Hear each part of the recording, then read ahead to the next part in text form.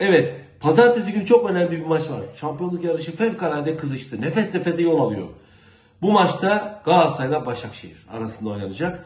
Ve iki takımın teknik direktörü Emre Belezoğlu ve de Okan Buruk dün itibariyle salı günü Etiler'de Sports Cafe'de buluşurlar. Şimdi böyle kritik bir maç öncesi bu ikinin buluşmasının amacı, anlamı nedir yani? Neyi konuşuyorlar? Neyin sohbetini yapıyorlar? Tabii bunlar yıllarca arkadaştırlar, birlikte de olabilirler. Bunları da konuşabilirler. Ama benim hiç aklıma yatmayan bir konu var.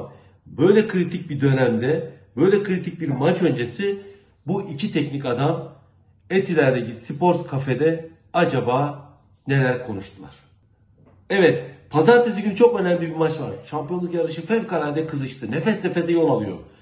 Bu maçta Galatasaray'la Başakşehir arasında oynanacak. Ve iki takımın teknik direktörü Emre Belezoğlu ve de Okan Buruk dün itibariyle salı günü Etiler'de Sports Cafe'de buluşurlar. Şimdi böyle kritik bir maç öncesi bu ikinin buluşmasının amacı, anlamı nedir yani? Neyi konuşuyorlar? Neyin sohbetini yapıyorlar? Tabii bunlar yıllarca arkadaştırlar, birlikte de olabilirler. Bunları da konuşabilirler. Ama benim hiç aklıma yatmayan bir konu var. Böyle kritik bir dönemde, böyle kritik bir maç öncesi bu iki teknik adam Etiler'deki Sports Cafe'de acaba neler konuştular?